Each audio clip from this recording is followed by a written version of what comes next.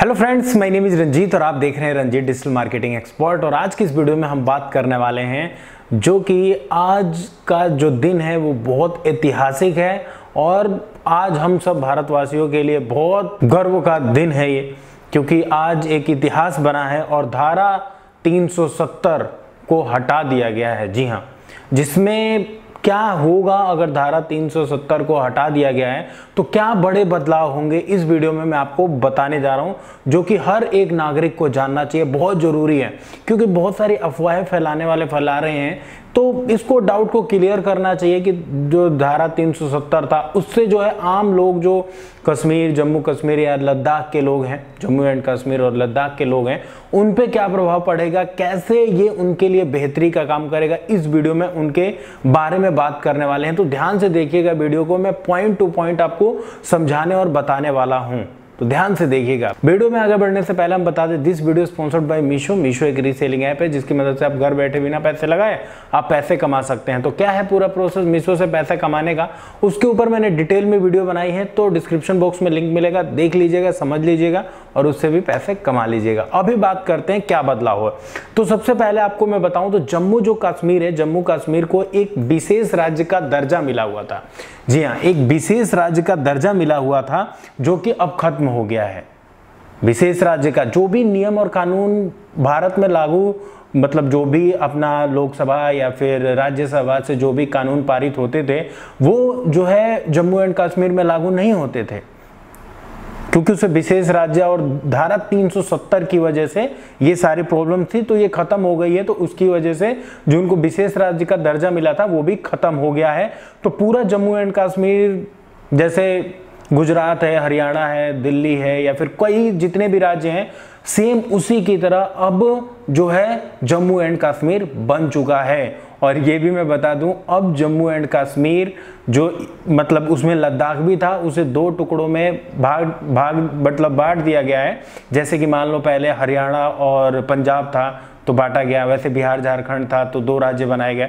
वैसे ही जो अब जम्मू एंड कश्मीर और लद्दाख है, जम्मू एंड कश्मीर तो है ही एक, और उसे यूटी बनाया गया, यानी केंद्र शासित प्रदेश, केंद्र शासित प्रदेश बनाया गया है। जी हाँ मैं आपको बताऊँ तो। उसके बाद जो है, जो अब जो जम्मू कश्मीर में जो कानून लागू होगा, वो जो पूरे देश में लागू हो रहा है, सेम वही कानून हमारे जम्मू एंड कश्मीर में भी लागू होगा। तो ये बात ध्यान रखने वाली है। पहले क्या था कि जो जम्मू एंड कश्मीर था, उसके अंदर उनका ध्वज अलग था। जैसे हमारा मतलब तिरंगा है, कश्मीर वैसे भी हमारा है, लेकिन क्या है कि वहाँ पे जम्मू एंड कश्मीर में अलग फहराया जाता था। और ये भी था कि उनको ये मतलब मिला हुआ था छूट कि तुम तिरंगे को अगर तुम सम्मान नहीं देते तो कोई दिक्कत नहीं थी। ये देखो, एक ही देश में रहना, फिर भी ये कानून बना तो कितना ज़रूरी था इस कानून को हटाना, आप समझ सकते हैं। क्योंकि जम्मू एंड कश्मीर में हमारा जो तिरंगा है, जो शान है, आन है, बान है, शान है, उसको वहाँ पे इज़्ज़त ही नहीं मिलती। अब क्या है कि सिर्फ़ एक ही तिरंगा रहेगा और वो रहेगा हमारा अपना तिरंगा। जी हाँ लहराता रहेगा।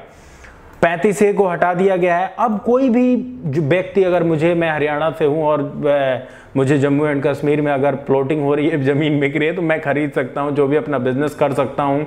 उसके साथ साथ और भी बहुत सारे राइट्स मिल जाते हैं। अब वहाँ पर जितना भी जो अदानी, अंबानी मतलब जितने भी लोग हैं, वहाँ पे जाके अपनी कंपनी डाल सकते हैं कंपनी बना सकते हैं बड़े बड़े होटल्स बन सकते हैं। मतलब बहुत सारे रोज़गार के आयाम और बहुत सारी कंपनीज़ वहाँ पर जाके मैन्युफैक्चरिंग कर सकती हैं। टूरिस्ट जो टूरिस्ट जो है टूर एंड ट्रेवल्स का काम वहाँ पे बहुत ज़्यादा बढ़ सकता है। तो ये सब चीज़ों को देखते हुए बहुत अच्छा माना जा सकता है। कोई भी अब नागरिक नागरिक, उसके साथ एक और भी बात मैं आपको बताऊँ कि अभी क्या है कि मान लो आप यूपी से हो तो आप दिल्ली आ गए तो दिल्ली का आपको वोटर कार्ड, वोटर आईडी मिल जाता है, आप हरियाणा आ गए तो यहाँ पे आप वोट डाल सकते हो, लेकिन ये सब पॉसिबल जम्मू एंड कश्मीर में नहीं है। एक चीज़ और भी है मैं बताऊँ कि अगर मतलब कोई लड़की जम्मू एंड कश्मीर की कोई लड़की है, अगर मान लो फरीदाबाद के किसी लड़के से शादी कर लेती है तो उसकी नागरिकता जो है, वो खत्म हो जाती है। वो जम्मू एंड कश्मीर की नागरिक है ही नहीं।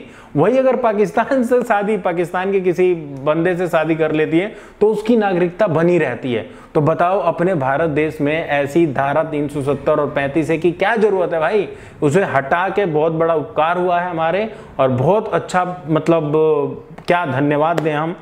कि भाई बहुत अच्छा काम हुआ है, ये जो भी हुआ है, बहुत अच्छा काम हुआ है।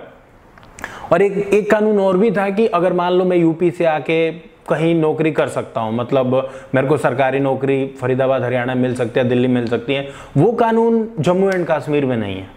बात समझ रहे हैं ना? तो उसको भी खत्म कर दिया गया है। अब मतलब सरकारी नौकरी भी अन्य राज्य से गया हुआ व्यक्ति कर सकता है। ठीक है सर? और अन्य राज्य से गए हुए नागरिक भी बन पाएँगे। अगर दूसरे राज्य के कोई निवासी, जैसे वोटर कार्ड का मैंने बताया, सब नियम एक ही हो गया कि अगर अगर आप हरियाणा से फरीदाबाद में जाते हो तो आपको नागरिकता मिल जाएगी, कोई दिक्कत नहीं है। और जिस लड़की की शादी होगी, आप उसकी नागरिकता भी नहीं छीनेगी। तो ये बहुत सारी बड़ी बातें हैं जिसको आपको समझने और जानने की ज़रूरत है। और दोहरी नागरिकता। अभी क्या है ना कि दोहरी नागरिकता मिलती है। जैसे जम्मू एंड कश्मीर में पहले जो था, वहाँ पे अगर कोई बंदा है तो उसको जम्मू एंड कश्मीर की भी नागरिकता मिलती है और भारतीय होने का भी नागरिकता मिलता है।